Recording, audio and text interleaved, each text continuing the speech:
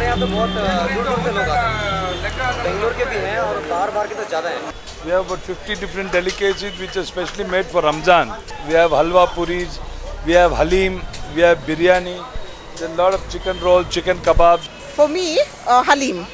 And I'm not a Muslim, but I still love their Halim. And we get it only during Ramzan on this road.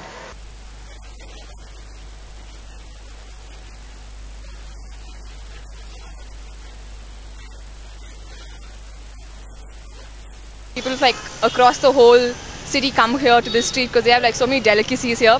What I personally saw today was they were cooking something on a stone and they called it stone meat or something. So yeah, that's what's my favorite dish here. Patta, yeah, pattar ka gosht, yeah, that's what they call it. Uh, on stone, meat is baked on the stone. Usually we'll Yeah. make the chops in the grill. Grill, But this time we grill are or uh, fried. And it is new thing that has come to Fraser town here.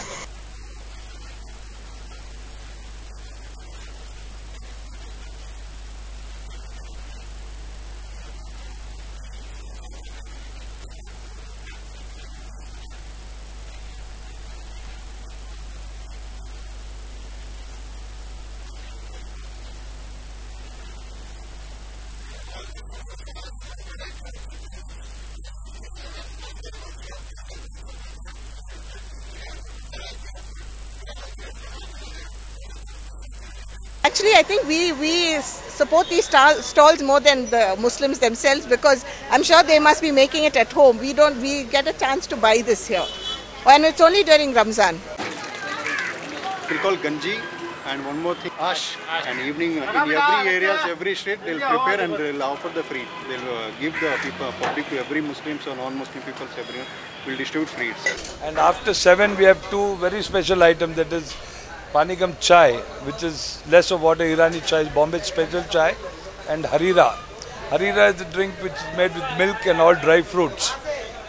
It is prepared on slow fire for a long period of time And that is what makes it so delicious. When you open your fast, it is with those dates or with water or you have this crystal salt.